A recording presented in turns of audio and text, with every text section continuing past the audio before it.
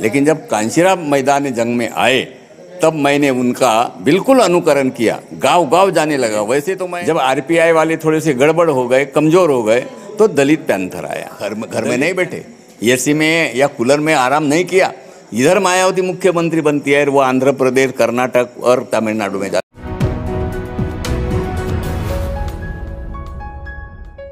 साथियों जय भीम मैं हूँ इंजीनियर स्नेहा और आप देख रहे हैं द थीम। आज हम ऐसे शख्स से बात करने वाले हैं जिन्होंने समाज को एक ऐसा साहित्य दिया है, जिस साहित्य में बहुजन आंदोलन की कई परिभाषाएँ, करीब कई पहलू उस साहित्य के माध्यम से समाज तक पहुँचे हैं। खास तौर पर यह बताया जाए तो बहुजन आंदोलन का निर्माण करने वाले आधुनिक भारत के महाना महानायक, बहु बहुजन नायक मानवर कांचीराम साहब के जीवन से संबंधित काफ़ी सारी किताबें उन्होंने लिखी है। तो आज हमारे साथ वाई आर मेशराम सर है, जिन्होंने काफ़ी सारे साहित्य जो है मानवर कांचीराम साहब से संबंधित लिखा है। तो ऐसे में बहुत बहुत स्वागत है सर आपका। जय भीम। जय भीम जय भीम जय भीम। तो सबसे पहले सर आप हमारे दर्शकों को ये बताना बताइए या फिर हम ये ऐसा जानना चाहते हैं कि डॉक्टर बाबा साहब अंबेडकर ने संपूर्ण जीवन में कई किताबें लिखी हैं। उनके सारे भाषण भी जो है वो किताबों के माध्यम से आज समाज के सामने है। और ऐसे में इतनी किताबें होने के बावजूद, इतना साहित्य आज समाज के अंदर निर्माण है, उसके बावजूद आपको किताब लिखने की ज़रूरत क्यों महसूस हुई? क्या सोचकर आपने किताबें लिखी है? हाँ इसलिए लिखी है बाबा साहब ने जो बातें लिखी है, विद्वत्तापूर्ण बड़े बड़े ग्रंथ लिखे हैं, लेकिन उन ग्रंथों की विचारधारा समाज में सही माने में अगर एग्जीक्यूट करने का, अगर किसी नेता ने काम किया, किसी विद्वान आदमी ने काम किया, वो सिर्फ़ और सिर्फ़ कांशीराम साहब थे। और जहाँ तक मेरा जहाँ तक मेरा मानना है, बाबा साहब के बाद, बाबा साहब के मूवमेंट में बहुत से बड़े बड़े नेता थे, समर्पित नेता भी थे। लेकिन किसी के भी दिमाग में ये बात नहीं आई कि बाबा साहब की समतावादी विचारधारा को हम समाज में प्रस्थापित कर सकते हैं। राजकारण के मान से हम सत्ताधारी बन सकते हैं। अगर गांधीवादी और मनुवादी विचारधारा जो कि विषमता की है वो अगर इलेक्शन के माध्यम से कामयाब हो सकती है उनकी सरकारें बन सकती है तो हमारी समतावादी विचारधारा की सरकारें क्यों नहीं बन सकती? आ, सर आ, मैं रोकना चाहूँगी। आपने अभी कहा कि अ, समतामूलक समाज की रचना कहो या फिर समतावादी विचारधारा वालों की सरकार तो आप तो पेशे से शिक्षक रहे हैं और ऐसे में इस प्रकार की सामाजिक परिवर्तन की बात और राजनीतिक परिवर्तन की बात आप कह रहे, कर रहे हैं तो क्या इसमें कुछ खासा प्रभाव आपके जीवन पर मान्यवर कांशीराम साहब का पड़ा है या क्या क्या कारण है? इसका कारण ऐसा है, मैं बाबा साहब को लगभग उनके पूरे ग्रंथ पढ़ा है। हो सकता है एक दो नहीं पढ़े होंगे। तो बाबा साहब ने वहाँ पर जो विचारधारा रखी तो पहली विचारधारा ये थी कि गाँव गाँव में जो हमारे समाज के प्राइमरी में मास्टर है, पटवारी है, और भी कुछ अन्य है, उस समय पढ़े लिखे वही थे। तो उनका सभा सम्मेलन में कहना ये था कि ये जो खेड़े पाड़े में जो मेरे आदमी हैं, कर्मचारी है, कम से कम वो मेरे विचारों का देहातों में जाके लोगों में प्रचार करें। लेकिन उनके कम संसाधन थे, या वो जमाना भी उतना पॉपुलर नहीं था, इस कारण वो कामयाब नहीं हो सके। लेकिन लंबे अंतराल के बाद जब कांशीराम जी के दिमाग में ये बात आई तो उन्होंने गाँव गाँव गली गली शहर शहर जाना चालू कर दिया।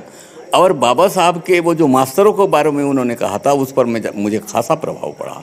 तो मैं मुझे लगा कि बाबा साहब उस जमाने के जो इक्के दुक्के मास्टर थे उनके बारे में वो आशावादी थे तो अभी तो हज़ारों और सैकड़ों शिक्षक है हमारे। खेड़े पाड़े में, हाई स्कूल में, कॉलेजों में, हम क्यों नहीं कर सकते?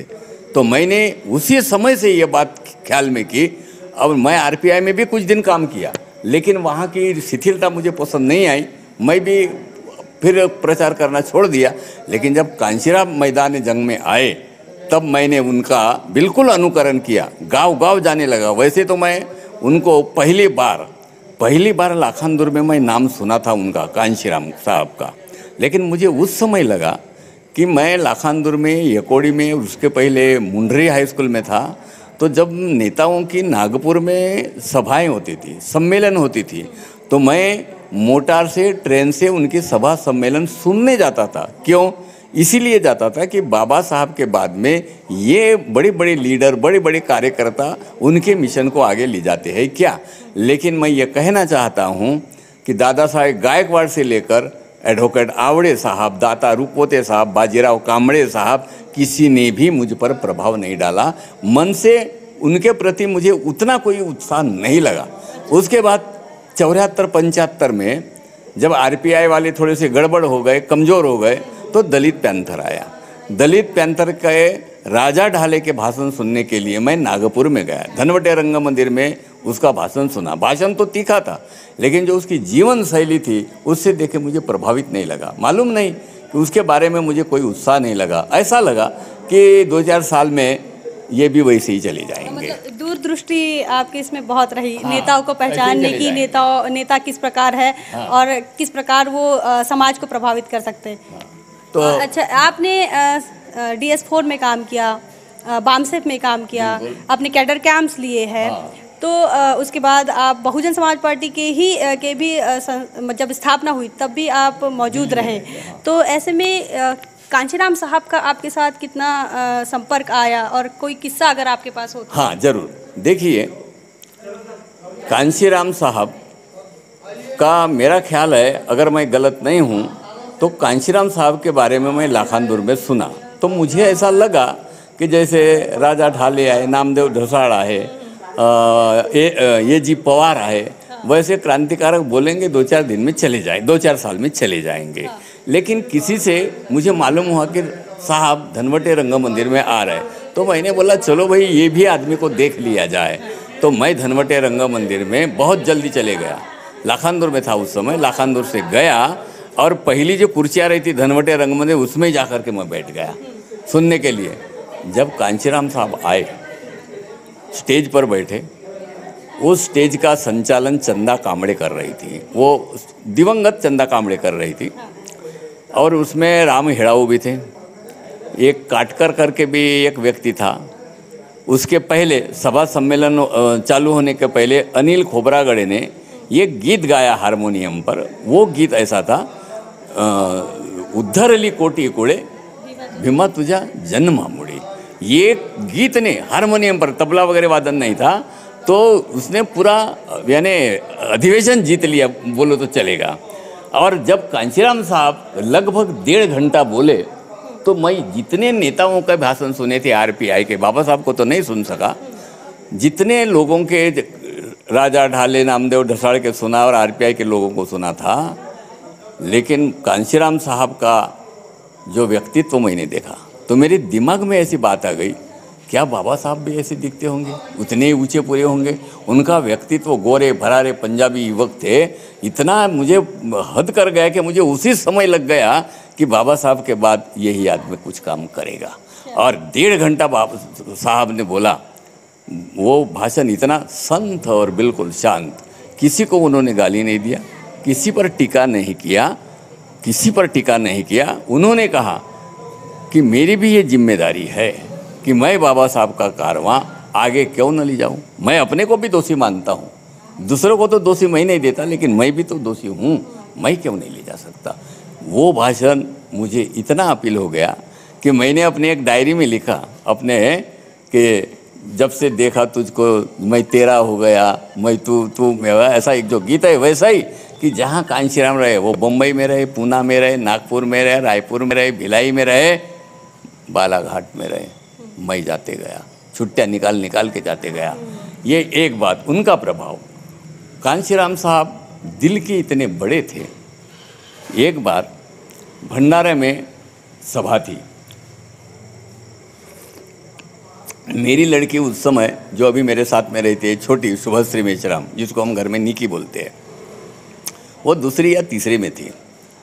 तो कांशीराम साहब के गली से लेके दिल्ली तक के लोग मुझे जानते थे। कोई भी कांशीराम साहब के स्टेज पर मुझे इजाज़त मिलती थी। मैं उनसे जा कर के मिल सकता था। तो मेरे लड़के को दो चार वाक्य मैंने हिंदी में लिख दिया कि आज कांशीराम साहब की सभा भंडारे में है। महात्मा ज्योतिबा फुले ने जो कारवा चलाया था विचारों का, उसको बाबा साहब ने आगे ले गया। लेकिन उसी कारवा को कांशीराम साहब बहुत आगे ले जा रहे हैं और लगता है कि ये कारवा, समतावादी कारवा सफल हो जाएगा। अब, मेरे लड़की ने महात्मा ज्योतिबा फूले के अलावा, कहने के अलावा उसने फूले का एवज में महात्मा गांधी कह दिया। तो मैं स्टेज पर था। तो मैंने बोला, अरे नहीं, महात्मा फूले, गांधी नहीं। कांशीराम साहब ने उस समय बोले कोई बात नहीं छोटी लड़की है गलती होती है। और गांधी जी भी बहुत बड़े आदमी थे। ये उनका बड़प्पन दिखाता है। कई बार गांधी पर टीका किया उन्होंने लेकिन जब उनको सम्मान देने की बात आई तो उन्होंने सम्मान भी से उन्होंने सम्मान भी सम्मान यानी कहने का मतलब ये कि जब जो कहना है करना है तो करते थे लेकिन व्यक्तित्व के बारे में बड़े लोगों के बारे में उनके दिल में बहुत सम्मान था। तो महापुरुषों का जो स्वभाव है वो इसी प्रकार से बड़प्पन वाला स्वभाव होता है। अब आपने जो मिशन मूवमेंट भी आपने उस समय बहुत करीब से देखा है तो कांशीराम साहब के समय जिस प्रकार मिशन मूवमेंट का रही जिस प्रकार की गति रही तो वर्तमान में आप कैसे देखते हैं कैसे लग, क्या लगता है आपको मिशन मूवमेंट को देखकर? वर्तमान में मुझे तो लगता है मैं भी थोड़ा सा मायूस हूँ। कांशीराम में क्यों इस पुस्तक में और मैंने बहुजन नायक कांशीराम की ललकार में भी मैंने कांशीराम साहब के बाद में जो कुछ हो रहा उसके बारे में नाराज़गी व्यक्त किया है। जहाँ तक मैं समझता हूँ, बाबा साहब के बारे में, बाद में जो हुआ, दादा साहब गायकवाड़ के बारे में बड़ी अपेक्षाएँ थी लोगों की, मेरी भी अपेक्षाएँ थी, लेकिन दादा साहब गायकवाड़ समाज को नेतृत्व नहीं दे सके। वैसे हमको यहाँ तक था कि कांशीराम साहब के साथ में मायावती जी रही और उनके ही ज़माने में तीन चार बार वो मुख्यमंत्री बन गई। उनके, उनकी हिम्मत थी, जो कुछ उन्होंने किया, कांशीराम साहब की हिम्मत थी। लेकिन उनके जाने के बाद वो संगठन को, आंदोलन को, पार्टी को बहुत कुछ बढ़ावा नहीं दे सकी। ऐसा क्यों हुआ?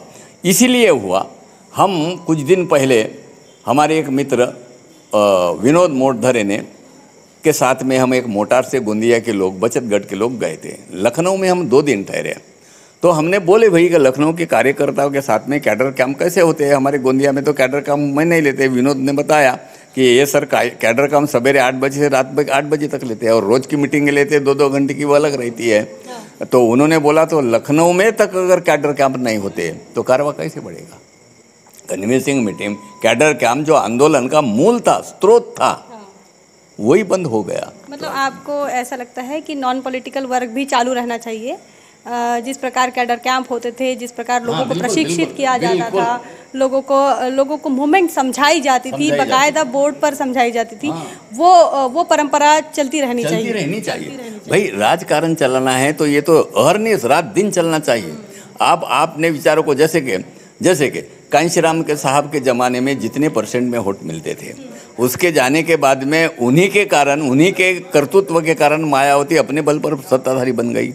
अगर दूसरे कोई होते तो इसी कारवा को दूसरे देशों, प्रदेशों में ले जाते थे। मायावती जब पहली बार मुख्यमंत्री बनी और जो अंबेडकर जयंती, उस समय हम लखनऊ में थे दो चार दिन तो उस समय साहब ने ये कहा था मायावती को, आप मुख्यमंत्री का काम कीजिए, मुझे अब दक्षिण में जाना है ये प्रचार प्रसार करने के लिए, मेरी जाने की व्यवस्था कीजिए। वो कोई घर में घर में नहीं बैठे। एसी में या कूलर में आराम नहीं किया। इधर मायावती मुख्यमंत्री बनती है वो आंध्र प्रदेश, कर्नाटक और तमिलनाडु में जाने के लिए पत्रकारिता की। मूक नायक, बहिष्कृत भारत, जनता, समता, प्रबुद्ध भारत। क्यों?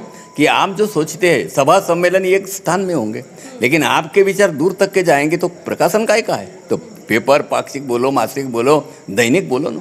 कांशीराम साहब ने दस बारह साप्ताहिक निकाले थे।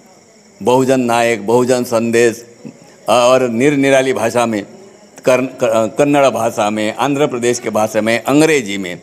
और यहाँ तक कि जब पार्टी की स्थापना हुई तो बहुजन नायक को तीन साल उन्होंने दैनिक चलाया। और उस चौरासी के चौरासी के बाद में जो मैंने तो काम किया, और मेरा श्रेय ऐसा रहा कि रात को हम प्रचार को जाते थे, चार पाँच मास्टर। तो चार पाँच मास्टर जाते हमारे साथ में दो चार आते, साइकिलों से घूमते थे इस कारण चौरासी के, उन्नीस सौ चौरासी के इलेक्शन में सबसे ज़्यादा अगर वोटिंग किसको हुई पहले पल तो सिर्फ़ चिमूर क्षेत्र से जो रमेश गजबे खड़े थे, उन्हें सत्तावीस हज़ार वोट मिले। उनका किसी एक को अगर श्रेय देना हो तो वो सिर्फ़ वाई आर मेश्राम है उसके कारण मुझे पैसा भी खर्च करना पड़ा, जिला परिषद में बदनाम भी हुआ ट्रांसफ़र भी हुई। अच्छा आप शिक्षक भी थे, उसके बाद आपने इस मिशन मूवमेंट से भी बने रहे और किताबें भी लिखी तो किस प्रकार समस्याओं का सामना आपको करना पड़ा या फिर सब आसानी से हो गया? हाँ देखिए, कोई भी बात आसानी से नहीं होती मैडम। समस्याएँ आती है। आप समस्या को समाधान सुलझाने के बारे में अगर सोचते हो तो आप समस्या को सुलझा सकते हो। और आप अगर पहले ही आपने मान लिया कि बहुत बड़ी समस्या है, मैं छोटा आदमी क्या करूँगा? तो ऐसा नहीं होता। उदाहरण के तौर पर मैंने एक पुस्तक में लिखा है आपके पास में लालटेन नहीं है आपके पास में टार्च नहीं है आपके पास में चाराने आठाने वाली मेनबत्ती है। तो अंधेरे में मेनबत्ती आपको दो कदम आगे दिखाएगी लेकिन दो कदम के बाद में फिर से मेनबत्ती दूसरे दो कदम दिखा सकती है तीसरे दो कदम दिखा सकती है। तो आप सौ कदम चल सकते हैं। मेनबत्ती वही है छोटी सी है लेकिन आपको चलना पड़ेगा। आपको चलना पड़ेगा। आपकी चलने का अगर मादा होगा तो आप बहुत कुछ चल सकते हैं। क्या कांशीराम साहब के ज़माने में किसी को लगता था कि बाबा साहब का एक कारवा आसमान तक चले जाएगा? वो तो पहले अकेले ही थे। अकेले ही थे। वो खुद ही कहते हैं कि कारवा बनता गया, लोग जुड़ते गए, कारवा बनता गया। जाने भी मैं तो पहले अकेला चला था। अकेला ही चलना पड़ता। मैं जब, मैं खुद वाई आर मिश्रम बोलता हूँ कि मैं जब कन्विंसिंग मीटिंग लेने की चला तो मेरे साथ में सिर्फ़ लाखानदुर में एक टीचर थे माने करके, वो चलते थे। अम्बेडकरी चड़वड़ी सद्धम्मा के संगाती, मराठी में उसमें उनका व्यक्तित्व दिया है। बहुत सीधे साधे आदमी, बहुत संतोष शांत आदमी, उनको पूछते थे वाई आर मेश्राम तो बदमाश है, इसके साथ में क्यों चलते हो? वो बोलते, वो जो तर्क देते हैं, वो मुझे बहुत अच्छे लगते हैं, बहुत अच्छे लगते हैं। और उस आदमी ने, बीएसपी के पहले, जब डी फोर बनी थी तो उस समय चंदा कामड़ी भाषण करती थी विनोद विनोद उसका नाम भूल रहा हूँ। बहुत ऊँचा पूरा लड़का था मस्त गाने गाता था। डी एस फोर के पाँच छः लोग उसमें एक नरेंद्र सेंडे करके था पॉलिटेक्निक का प्रोफेसर था। ये गाँव गाँव जाते थे एक ढोल मड़ावी नाम का छोकरा ढोल बजाता था। माइक भी था और एक बैठ कर वहाँ से जीप करके आए थे नागपुर से। जागृति जत्था की हाँ जागृति जत्था। उसमें पेंटिंग जत्था भी रहता था। ऐसे दस बारह लोगों को हम दो चार दिन घुमाए। उस समय मैं लाखानदुर में था लाखानदुर के एरिया में घुमाए। और जब जाने की बात हुई पूरे ज़िले में घूमने के लिए तो मैं तैयार हुआ था। लेकिन माने सर ने बोला पहले से तुम बदनाम हो। सस्पेंड हो जाओगे, बर्खास्त हो जाओगे। तो तुम्हारे एवज में मैं पाँच दिन की छुट्टी लेकर के मैं चाहता हूँ। लोग आधे दिन की छुट्टी नहीं लगते किसी के लिए। माने सर ने वाई आर मेश्राम के लिए पूरे हफ़्ते की छुट्टी ली। उन्होंने तो यहाँ बोला, ज़्यादा से ज़्यादा मेरा पगार काटेंगे। तो ऐसे लोग जब मिलते हैं किसी मिशन को तो मिशन कामयाब होता है। वो मिशन कांचीराम साहब के ज़माने में लोग कामयाब थे, मिलते थे, लेकिन ये दुर्भाग्य है कि मायावती ना पेपर बढ़ा सकी। हम तो सोचते थे कि ये जब मुख्यमंत्री बनी तो जो पाक्षिक है, जो साप्ताहिक है, वही दैनिक बन जाए। लेकिन ये हुआ उल्टा। जहाँ तक उनके करीबी लोग थे, एक बार आए थे, जो अभी बी आर एस पी के जो अध्यक्ष है, सुरेश माने, पुआर बोर्डिंग में उनका भाषण था और रात को सेंटर होटल में ठहरे थे। उस समय उन्होंने भाषण में कहा कि गोंदिया के कार्यकर्ता मुझे पूछते हैं कि पेपर क्यों बंद कर दिए, पेपर क्यों बंद कर दिए? वो लालू मुलायम के पेपर नहीं, फिर भी वो चुन के आते हैं। अब भाषण एक तरफी था, उस समय तो हमें कुछ नहीं कह सकता था, लेकिन जिस सेंटर होटल में ठहरे थे और दूसरे दिन मैं गया पच्चीस तीस लोग थे, मैंने उनसे क्रॉस किया। क्रॉस किया कि बाबा साहब बेवकूफ़ थे क्या? अपने पदर का खर्च के पेपर निकालते थे? कांचीराम साहब बेवकूफ़ थे क्या? और आप बोल रहे कि नहीं, वो मैटर ख़त्म हो गया, ख़त्म हो गया। कैसा मैटर ख़त्म हो गया? बाबा साहब ने यहाँ तक बोला है कि जिस मूवमेंट में अगर पेपर नहीं होता तो बिना पंख के जो पक्षी होता है, उसकी हालत वैसी हो जाती है। तुम जो कहोगे, प्रसारित कैसे करोगे? प्रचारित कैसे करोगे? आज का माध्यम पेपर है। टीवी तो खैर अपने हाथ में नहीं है चैनल अपने नहीं है ना। लेकिन पेपर तो तुम कर सकते थे। तुमने तो उल्टा डुबा दिए। डुबा दिए। हम तो यहाँ तक कहेंगे, मैंने तो यहाँ तक ये बोलना नहीं चाहिए। एक पुस्तक में इनडायरेक्टली लिखा है मैंने। कैसा लिखा है ये ये यहाँ पे बोलना जरा अच्छी बात नहीं है। आपको तो, आ, मैं तो फिर मैं ये जानना चाहूँगी कि उम्र के आप इस पड़ाव में हैं तो क्या अभी भी आप लिखान कर रहे हैं लिखना चालू है जारी है तो अपकमिंग में क्या किताब आ रही है? हाँ अभी मैंने कांशीराम साहब पर आठ दस पुस्तकें लिखी। संथागार में जहाँ मेरी पुस्तकें विमोचित होती है एक प्रभाकर गजबिया करके विद्वान है। एक थे कांशीराम इस हिंदी पुस्तक का विमोचन जो उपसचिव है हमारे बम्बई में मंत्रालय में, उमेश नागदेवे। उनके हाथ से होनी थी, वो आए थे नागदेवे साहब मेरी पुस्तक के विमोचन के लिए। तो उन्होंने ज़ाहिर साथ से कहा कि आपके लेखनी में इतना दमदारपना है, चाहे वो मराठी हो या हिंदी हो, आप पढ़ते ही जाते हैं, पढ़ते ही जाते हैं। तो कृपया आप बाबा साहब पर एक और भगवान बुद्ध पर एक लिखिए। मैंने ये बात तो हंस के टाल दिया। लेकिन मेरा जन्मदिन 24 अक्टूबर 2019 को था। ग्रैंड सीता होटल में, मैं तो इसके विरोध में हूँ अपना जन्मदिन मनाने के, लेकिन मेरा बेटा बेटी ने वहाँ मनाए और संतागार के बहुत एक लोगों को बुलाए। तो वहाँ भी पहले भाषण देते हुए बोला, सर, मैं आपको बहुत गंभीरता से बोल रहा हूँ। आपके लिखान में बहुत दमदारपना है चाहे वो मराठी हो, हिंदी हो, कम से कम बाबा साहब पर बुद्ध पर एक एक लिखिए। तो उनके भाई फिर से मैंने अपनी पुस्तकें निकाला क्योंकि बाबा साहब का बहुत साहित्य मेरे पास में है लेकिन जब डी एस फोर कांसीराम साहब को देखा और वो देखा 16 अगस्त उन्नीस सौ इक्यासी को। उस समय से ये पुस्तकें पढ़ी मैंने रख दिया और रोज रोज निर निराले गाँव में जाने लगा प्रचार प्रसार के लिए। लेकिन जब गजबीर साहब जैसे आदमी ने कहा तो मैंने वो फिर से पुस्तकें निकाली। दो तास पढ़े बाबा साहब के भाषण पढ़े चरित्र खंड पढ़े और कहीं दस चरित्रकारों की पुस्तक पढ़े। इसीलिए मैं मराठी में लिख सका हूँ। तो अब ऐसा लगने लगा कि मैं बाबा साहब का भौतिक चरित्र लिखा। कैसे दिखते थे, कैसे बोलते थे? लेकिन उनकी जो विचारधारा थी, वो विचारधारा पर भी इतनी बड़ी पुस्तक हो सकती है, ऐसा मेरा मानना है। तो मतलब आने वाले समय में तथागत गौतम बुद्ध और डॉक्टर बाबा साहब अंबेडकर इनसे संबंधित किताब वाई आर मेसराम सर लिखने वाले हैं। अंत में सर, मैं एक ही चाहूँगी कि बहुजन समाज को आप क्या संदेश देंगे? क्योंकि आने वाले दो दिनों में बुद्ध जयंती है तो ऐसे मौके पर छोटा सा संदेश हमारे दर्शकों को दीजिए। संदेश ये देना चाहूँगा। कांशीराम साहब के ही वाक्य में मैं ये संदेश देना चाहता हूँ। आपको बुद्ध की विचारधारा, फुले की विचारधारा, शाहू महाराज की विचारधारा, डॉक्टर बाबा साहब अंबेडकर की विचारधारा, कांसीराम साहब की विचारधारा, समतामूलक समाज अगर निर्माण करना है तो रात दिन काम करना पड़ेगा। उन्हीं के शब्दों में, दिल में सही तमन्ना है तो रास्ते निकल आते हैं, नहीं तो फिर बहाने नज़र आते हैं। तो यही मेरा संदेश है, रात दिन काम करो। विषमतावादी अगर लोग यशस्वी हुए, हम क्यों नहीं हो सकते? हमने खुद का चिंतन करना चाहिए। मुझे तो निर निराले गाँव में जाता था ना, अपने से शतरंज बिछाने से काम करते थे हम दो चार साथी तो उसके बाद में लोगों ने दूसरे दूसरे गाँव में बुलाना चालू कर दिया। बुलाना यहाँ तक कि मुझे ओबीसी लोगों ने भी बुलाया। एक उदाहरण बताता हूँ, लाखनी जैसा बड़ा गाँव, जो कि आर का गड्ढा है, उसमें चुटे करके पेट पटवारी थे। वो रिटायर्ड हो गए थे उस समय। उस समय उनके घर में जो सभा हुई तो यस्सी सिर्फ़ मैं था और मेरे को जिसने ले गया, वो हुमने करके मास्टर था, वो प्रोफेसर है अभी, उसने ले गया। लेकिन उसके घर में सौ दो सौ आदमियों में दो सिर्फ़ हम एस के यानी महारिया बौद्ध थे, बाकी सौ लेडीज़ या सौ जेंट्स पूरी वो भी के थे। और उन्होंने यहाँ तक बोला, जब मेरा बोलना दो घंटे का ख़त्म हुआ, मैंने बुद्ध से लेके विचारधारा बताया तो उन्होंने बोलने लगे कि ऐसा सर हमको कोई बताता ही नहीं, कोई बताता नहीं। आप तो खुद घूमते हैं। तो हमने घूमना चाहिए समय निकालना चाहिए। हम बोलेंगे तो समय निकाल के हमको जाना है अपने थोड़ा सा त्रास सहन करना है तो करना पड़ेगा ना। जहाँ तक मैंने यहाँ तक पढ़ा है कांशीराम साहब के बारे में तो उन्होंने तो ये मिशन में दो दो तीन तीन दिन खाना नहीं खाया ऐसे ही अभी वक्त की ज़रूरत है, है वक्त की ज़रूरत है। काम करना, काम करना चाहिए नहीं तो मनुस्मृति का राज आने में ज़्यादा देर नहीं लगेगी। इसको अगर हमें रोकना है तो बाबा साहेब और कांशीराम के रास्ते से चलना होगा। और कांशीराम साहब ने जो रास्ता दिखाया उससे अगर हम जाते हैं तो हम कामयाब बन सकते हैं। इतना ज़रूर कहे कि गलत विचारधारा के लोग अगर कामयाब हो सकते हैं तो सही विचारधारा के हम क्यों नहीं हो सकते?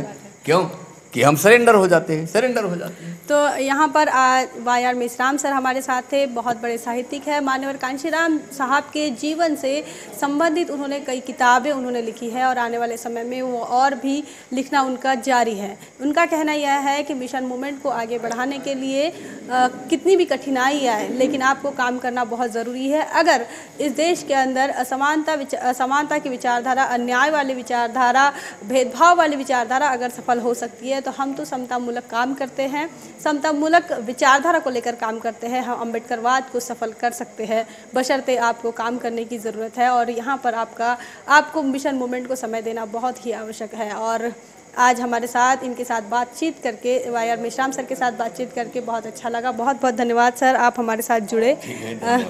इस चर्चा को लेकर आप क्या सोचते हैं आपका क्या ख्याल है कमेंट करके ज़रूर बताएँ। बने रहे द थिंग पर जय भीम जय भारत।